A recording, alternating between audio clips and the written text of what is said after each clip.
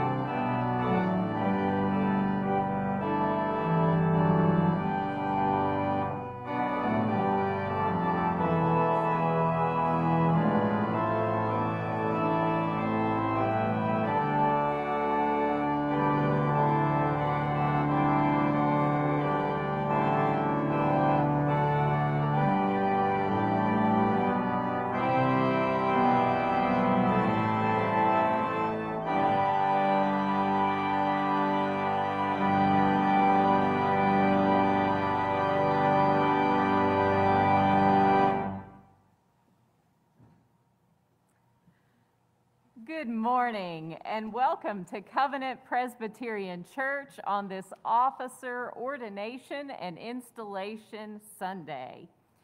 Some happy news to start off with this morning. We are so pleased to have our pastor, Kyle Allen, and his family back in worship with us. We are so grateful to God for your recovery and, and well being.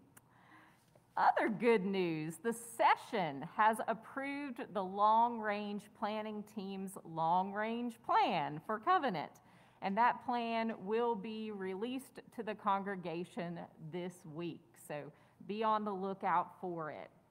I encourage you to take a close look at the blue insert inside your bulletin. There are a number of activities and service opportunities found in the blue insert, including the Super Bowl of Caring, volunteering at Feeding Southwest Virginia, as well as the congregational meeting that's scheduled for next Sunday. So please just take a closer look. There are many, many more things listed in the blue insert. But let us now prepare our hearts and minds to worship the living God.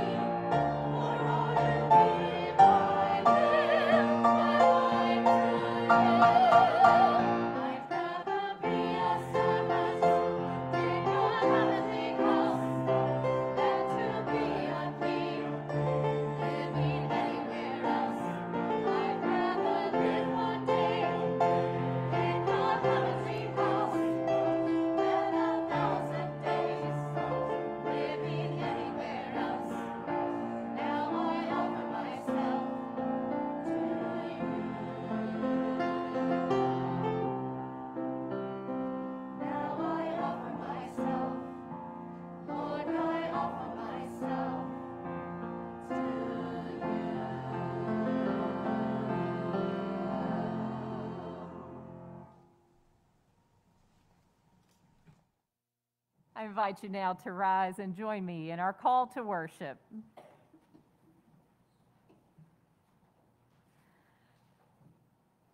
By God's Spirit, we were baptized into one body and chosen by God for loving service to the world. Let us sing praises to God for making us partners in mission. Let us worship God in wonder and joy.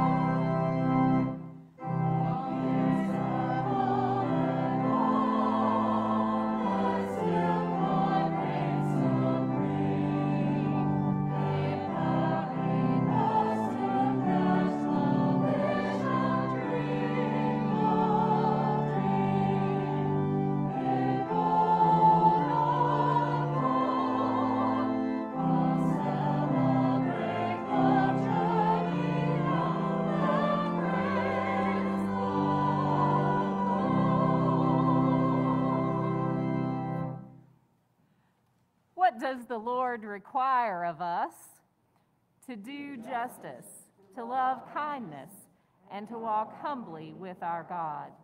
Let us pray. Eternal God, we seek to live the Christian life, but confess we are not always in harmony with your will. You call us to proclaim the truth in love, but there are times when we are silent. You command us to do what is just, but too often we are idle. You beckon us to live humbly before you, but minor matters distract us. Forgive us and transform us so that we may follow your guidance. In Jesus' name, amen. Hear the good news. Let it be shared with all the world. In Jesus Christ, we are forgiven. Thanks be to God. Amen.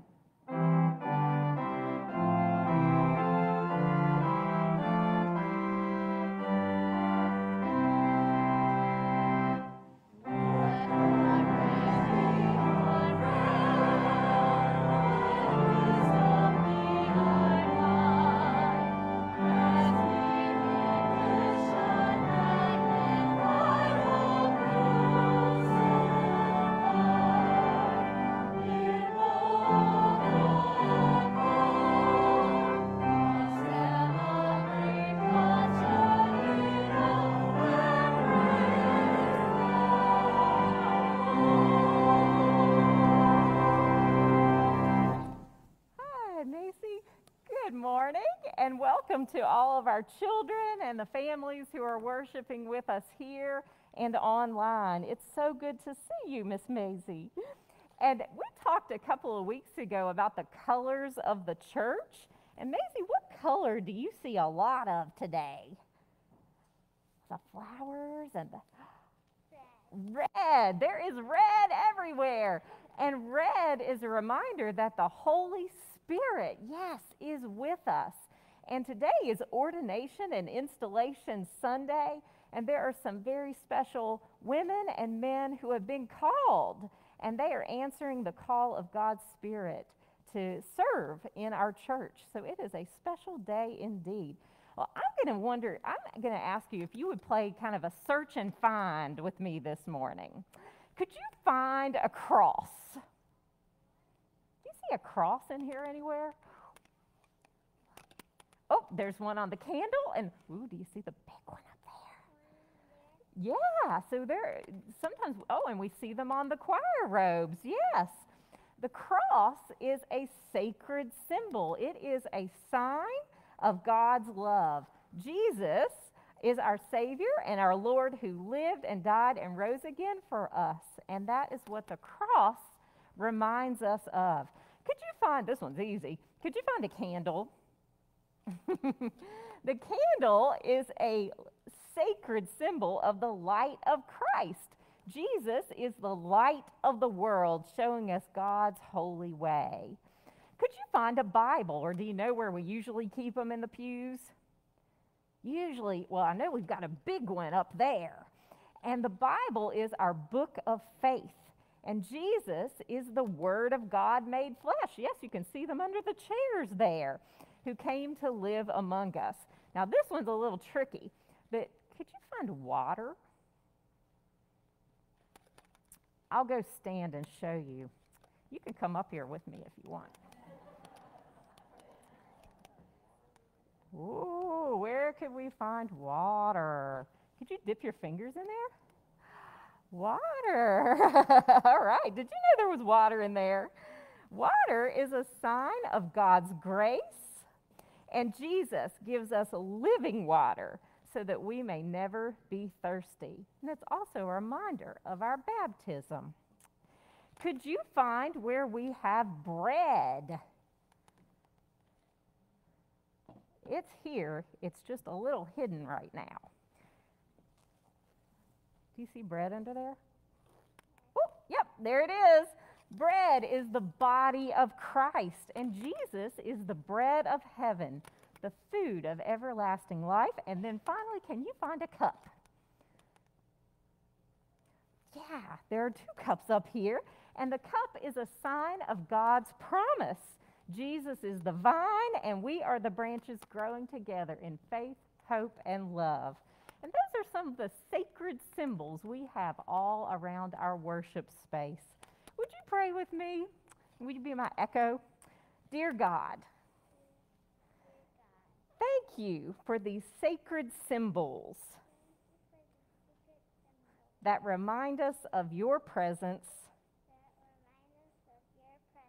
and your love. Help us be reminded that you love us all through the week. Amen. Thank you. Have a wonderful week.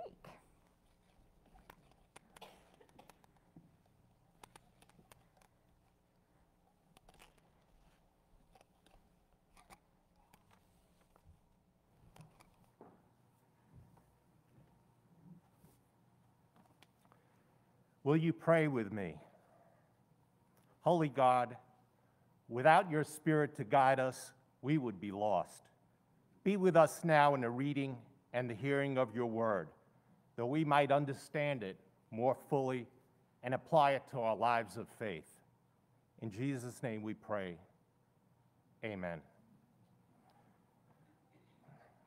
Our reading for this Lord's Day is from 1 Corinthians chapter 15 verses 1 to 11. Listen for God's word to you. Now I would remind you, brothers and sisters, of the good news that I proclaimed to you, which you in turn received, in which also you stand, through which also you are being saved, if you hold firmly to the message that I proclaimed to you, unless you have come to believe in vain. For I handed unto you as of first importance that what I in turn had received that Christ died for our sins in accordance with the scriptures, and that he was buried, and that he was raised on the third day in accordance with the scriptures, and that he appeared to Cephas, then to the twelve. Then he appeared to more than 500 brothers and sisters at one time, most of who, whom are still alive though some have died. Then he appeared to James, then to all the apostles. Last of all, as to one untimely born, he also appeared to me. For I am the least of the apostles, unfit to be called an apostle, because I per- persecuted the church of God. But by the grace of God, I am what I am, and his grace towards me has not been in vain. On the contrary, I worked harder than any of them, though it was not I, but the grace of God that is with me.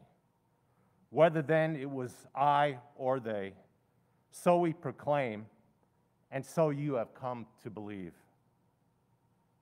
This is the word of the Lord. Thanks be to God.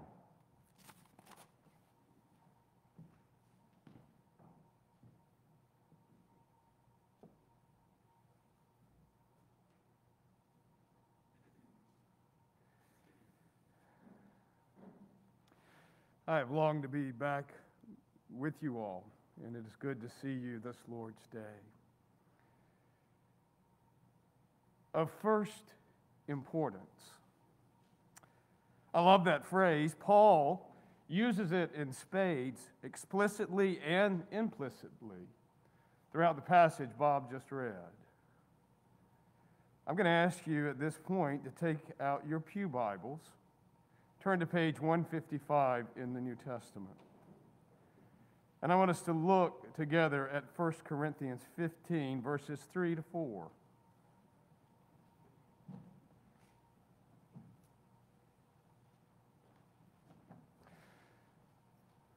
Those verses read For I handed on to you as of first importance what I in turn had received that Christ died for our sins in accordance with the Scriptures, and that he was buried, and that he was raised on the third day in accordance with the Scriptures. Going down on the page a little further, let your eye fall on the second verse, which is 1 Corinthians 15, actually verses 8 to 10. After a long list of post resurrection appearances where Christ personally reveals himself to a long list of disciples, Paul proclaims, Last of all, as to one untimely born, which simply means that Paul did not feel worthy to have been called, that it came to him, that is, Christ came to him and called him and appeared to him. And in that sense, he too was born anew. Last of all, as to one untimely born, Paul says, he appeared also to me. For I am the least of the apostles, unfit to be called an apostle, because I persecuted the church of God. But by the grace of God, I am what I am, and his grace toward me has not been in vain. Before I go further in the sermon, let me remind you that this 15th chapter in Paul's letter to the Corinthians, 1 Corinthians, is all about the resurrection. And Paul will repeat himself by saying that if you have not believed that Jesus Christ has been crucified and risen from the dead, and if this world your hope is only, then your faith is pitiful and you are to be pitied most of all. So, here now in these verses, in verses 3 and 4, and also 8 to 10, why, why is it that these verses and what they say are of first importance? Here's what I think. They all essentially say the same thing. If God's revelation in Christ to us is not first personal, it will never go public.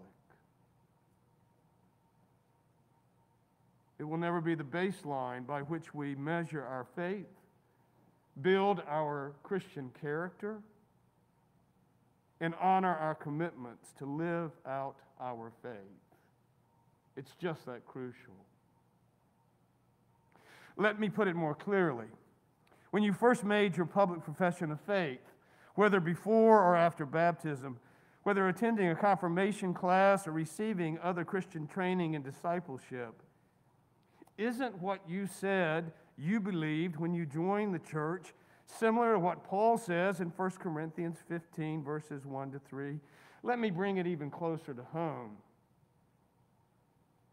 Those three verses are the focal point of the Apostles' Creed, are they not?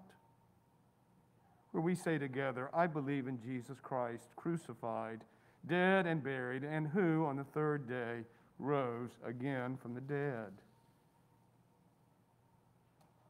I will tell you, when I made my public profession of faith and was baptized, and yes, it happened in that way the profession of faith before baptism by my childhood pastor, Dr. Whitley. He asked me in the good King James fashion, Do you believe the gospel? The good news about Jesus Christ. That God so loved the world that he gave his only begotten Son, that whosoever believeth in him should not perish, but have everlasting life. And I ask you, do you hear echoes of Paul's words to the Corinthians here too? And when it comes time for us to participate in the service of officer ordination and installation, we will hear the same words spoken. Oh, yes, we will. In the Apostles' Creed and resonating new and fresh with us and beckoning yet again a faithful response, not only from our incoming officers, but from all of us. Here's the first question our officers will be asked today Do you trust in Jesus Christ, your Savior? Acknowledge Him, Lord of all and head of the church, and through Him believe in one God, Father, Son, and Holy Spirit baseline, foundational, personal first before going public. Indeed, how can one answer yes to this question honestly if there is no personal relationship with the Christ of the cross and the empty tomb? If these touchstones are not the foundation on which our faith is built, Paul says, if these are but lip service without a core commitment to Christ, who died on the cross to save the world and us from our sins, and who was raised up by God in triumph over sin and death, then I tell you this is it not true that our faith is vain? And our integrity as disciples is a sham. I've never seen in writing anywhere how the ordination vows within our Presbyterian Church USA Book of Order came to be. But I've always believed the first question asked of would be officers was put there intentionally to show us that it is of first importance, no matter our calling in life, and that it is the primary question of first importance upon which all the other questions and their answers hinge. That one question Do you trust in Jesus Christ, your Savior, and believe Him to be Lord and head of the church, Lord of all creation? Think about it. When you answer that question to become a member of the church or to serve as an officer and acknowledge Jesus as your Lord and Savior, the your there truly was personal. It was relational. It was of first importance. And if the building of that relationship is not nurtured and deepened and maturing over time, how can your faith or mind be sustained? You tell me. Let alone treated as utmost in importance. A couple of Sundays ago, Paul Weary led our adult class. I believe Jennifer mentioned that last week as too. Two, he asked a simple question Can you name the Ten Commandments in order? Can you name the Ten Commandments in order? Thankfully, we as a class knew them, but honestly, it took us a little while to get them in order.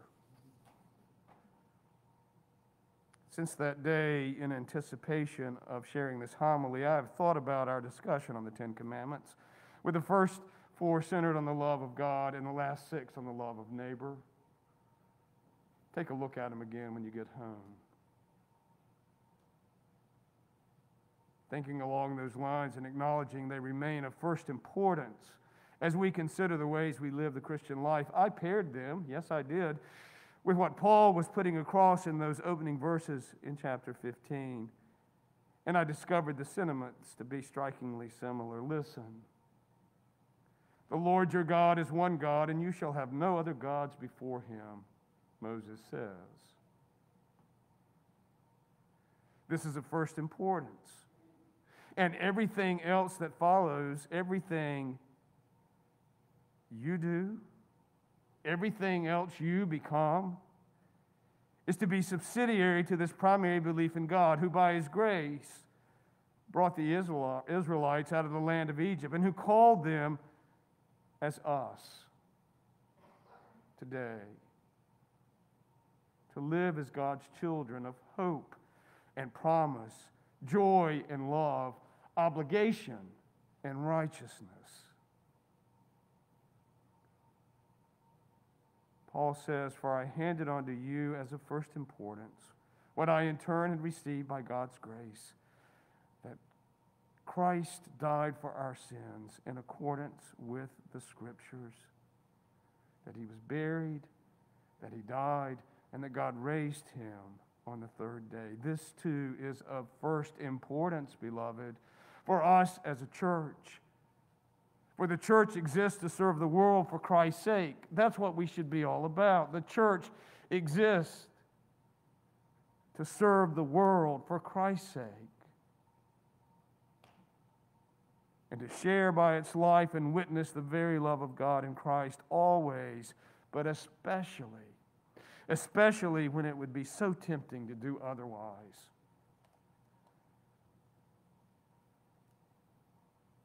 Why is this of first importance today?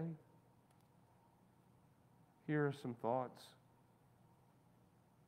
In a world filled with hate speech, racial profiling, police shootings, false accusations, rampant tribalism, cancel culture, moral lapses, power politics, and gross injustice, I will tell you of first importance is that the church share the good news only the church has to share. The good news of Jesus Christ, that Christ is risen and our joy knows no end. Our sins are forgiven and we are free to love and serve the Lord with humility humility as our guide, kindness as our motto, and loving justice for all as our deepest desire. While earthly doubts and divisions dot the global landscape, our confidence is in Christ alone, who calls us to love God and our neighbors without discrimination in the same ways, we would want to be loved and respected for who we are and not judged for who we aren't. While the pandemic lingers, its tight grasp upon us may be loosening with the hope of vaccines for ages five,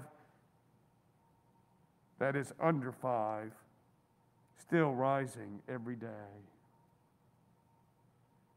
Into this new world emerging, the church universal and God's church, this local congregation called Covenant Presbyterian, needs now more than ever to heed Paul's words,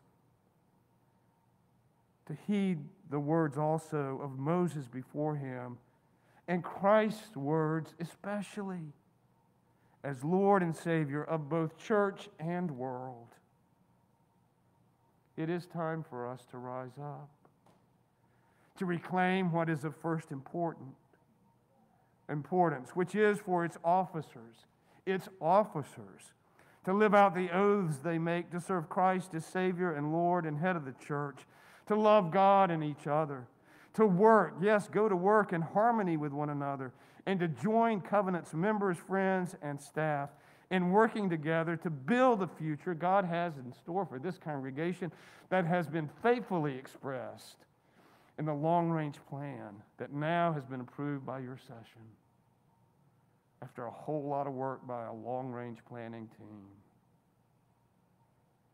At this table, today and in the days to come, we will find our sustenance. In our mission, we will join as one.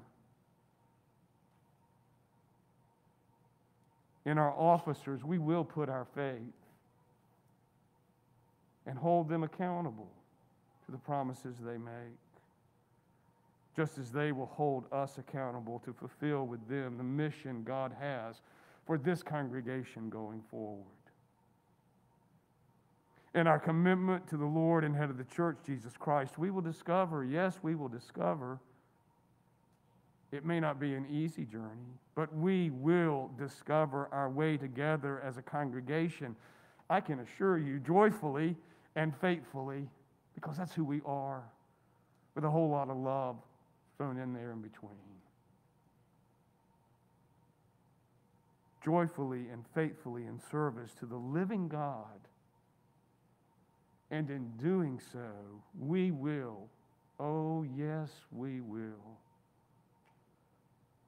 honor what truly is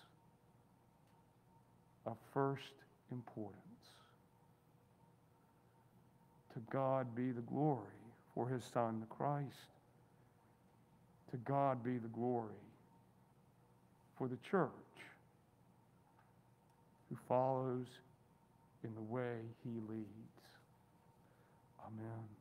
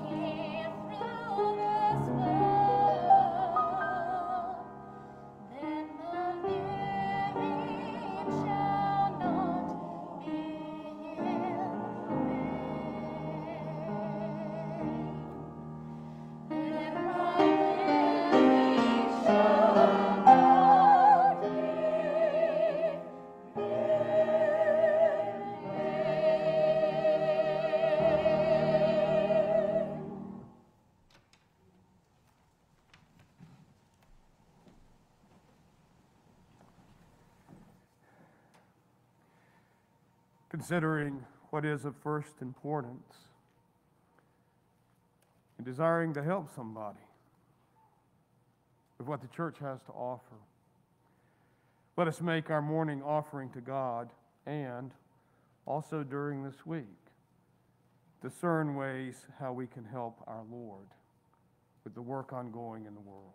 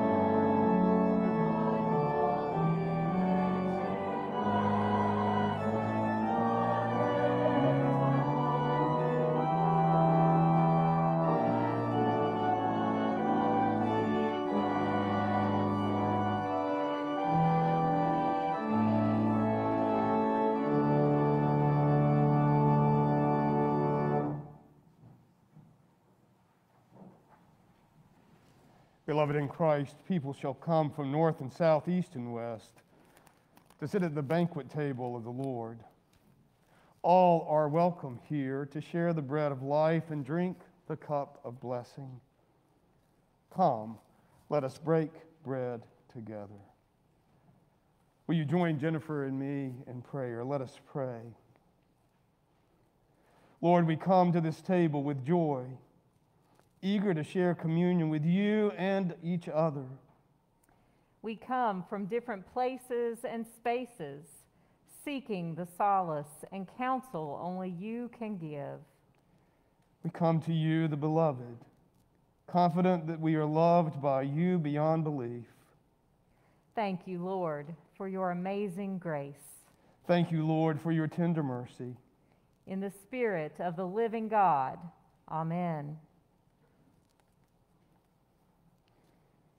We come now to the words of institution. Jennifer and I will be sharing those. And in sharing those, first the bread, you will be invited to take that. And then Jennifer will share the words regarding the cup, and you will be invited to take that. So, in this spirit, let us receive these words of institution in the meal that God has prepared for us through his beloved Son, the Christ. The Lord Jesus, on the night of his arrest, took bread, and after giving thanks, he broke it. And he said unto his disciples, whom he loved, Take, eat. This is my body given for you. Do this in remembrance of me.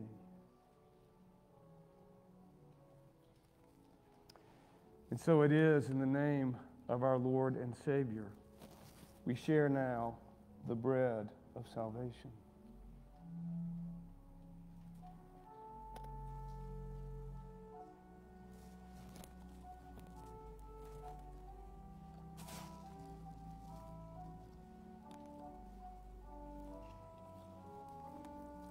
In the same way, after supper, Jesus took the cup, saying, This is the new covenant sealed in my blood,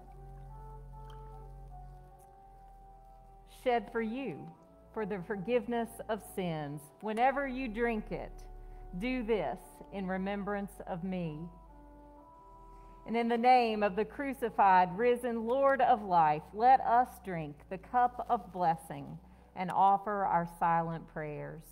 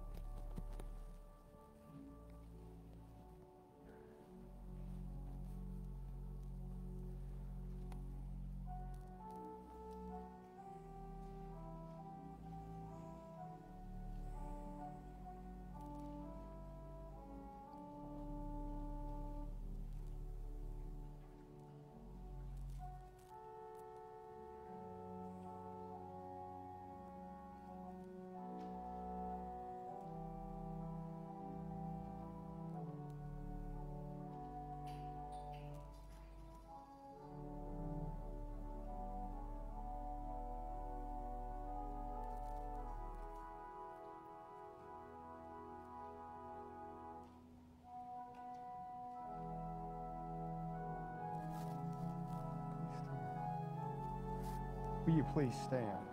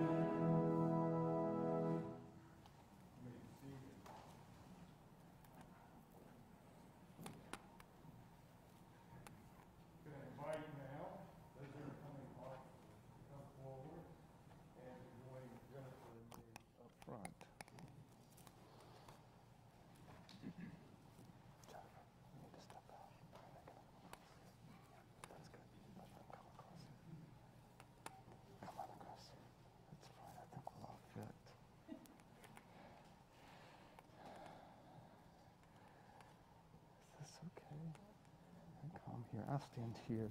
Jenny, come stand right there.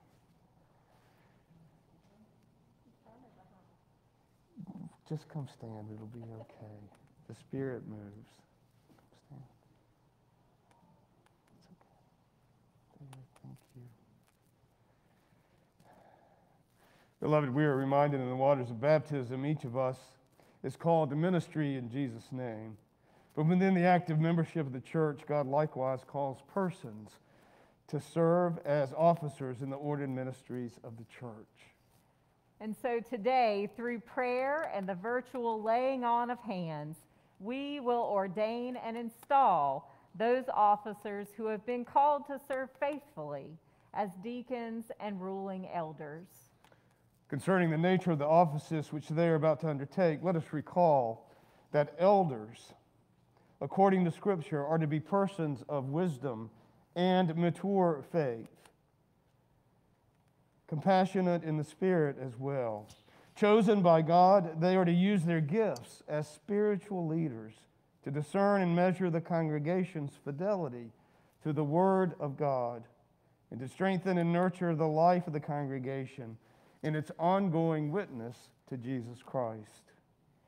And let us likewise recall that deacons, according to Scripture, are to be persons of spiritual character, honest repute, live exemplary lives, brotherly and sisterly love, sincere compassion, and sound judgment. Their calling is to share in the redeeming love of Jesus Christ for the hungry, the sick, the poor, the lost, the friendless, the oppressed, or anyone else under distress. They serve at the will of the session to perform other vital functions associated with Sunday morning worship and other special services, and with the upkeep of the church's real and personal property. So it is now. We turn to the questions of ordination and installation. To our incoming officers, will you please answer the following questions by replying yes with God's help? Do you trust in Jesus Christ, your Savior? Acknowledge Him Lord and head of the church. And through Him believe in one God, Father, Son, and Holy Spirit. Do you?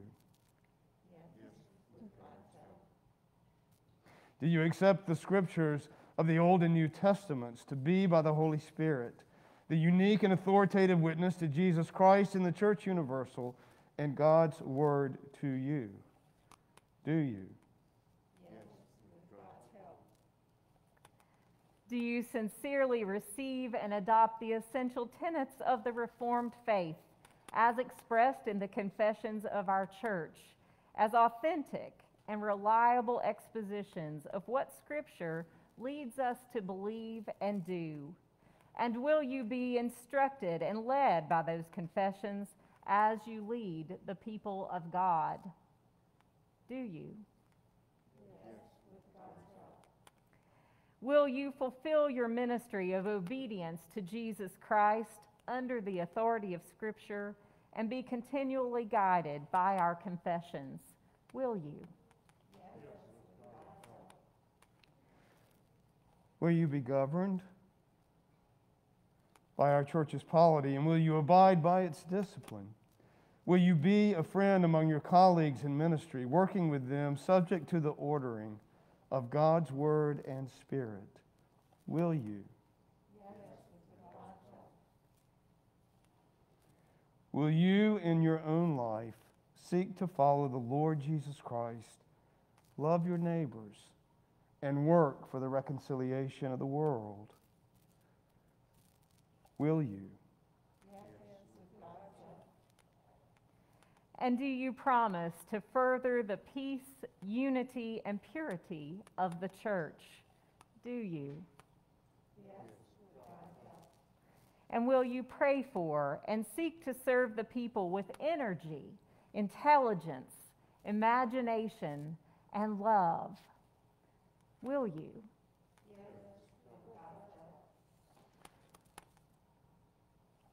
for those who are to be elders. Will you be a faithful ruling elder, watching over the people, providing for their worship, nurture, and service? Will you share in government and discipline, serving in councils of the church? And in your ministry, will you try to show the love and justice of Jesus Christ? Will you? And for those serving as deacons, will you be a faithful deacon, teaching charity, urging concern, and directing the people's help to the friendless and those in need? And in your ministry, will you try to show the love and justice of Jesus Christ? Will you? Meg Mutton, our clerk of session, has questions for the congregation this Lord's Day. Do we, the members of the church, accept these persons as ruling elders and deacons, chosen by God through the voice of this congregation, to lead us in the way of Jesus Christ? If so, say we do. I'd also ask the congregation now as a whole if you would stand as a sign of your loving support for those who will serve as ruling elders and deacons in the class of 2024.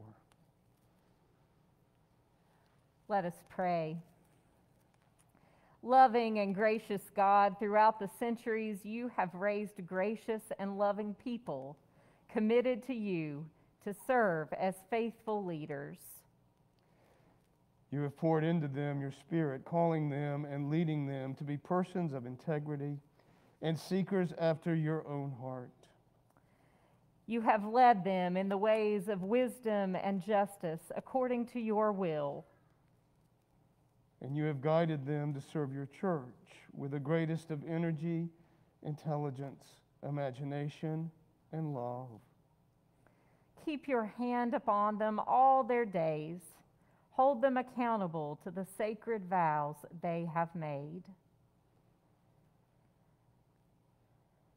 And Lord, as we ask now for Jennifer and for Laura to kneel, and we pray for all these new officers,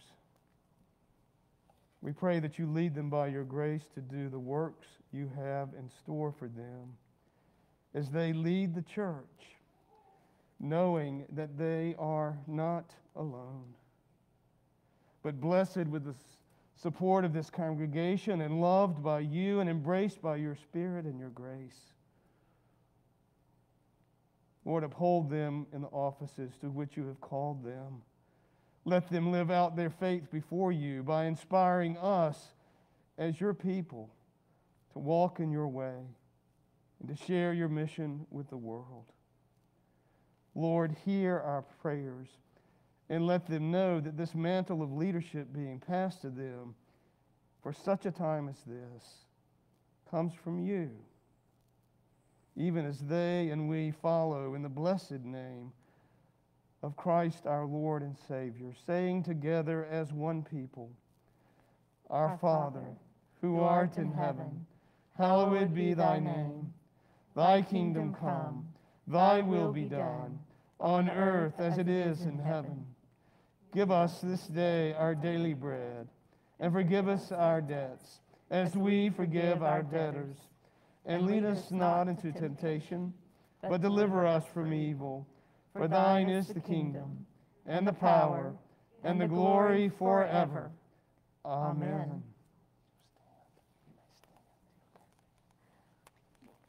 Brothers and sisters in Christ, you are now duly ordained and installed as officers in the ordered ministries of the PC USA. And on behalf of the congregation, I say to you, we celebrate you today. We welcome your leadership in the years to come. And truly, we look forward to working with you, to serving beside you. And we pray that God's blessing will be upon you today and always. Thanks be to God for your service, for who you are, and for what you mean to this congregation and to our Lord. Amen. Amen.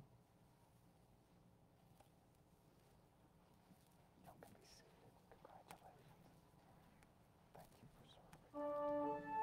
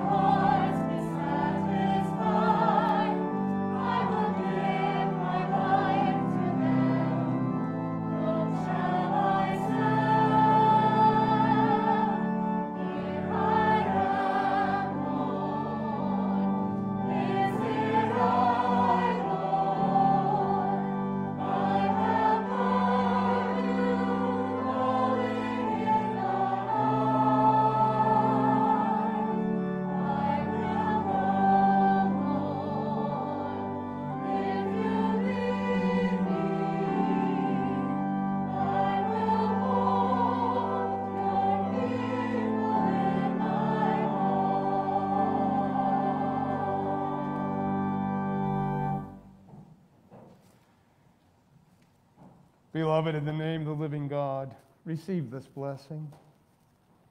May the strength of the wind and the light of the sun, the softness of the rain and the mystery of the moon reach you and fill you.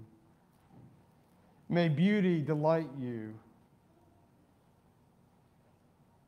and happiness uplift you.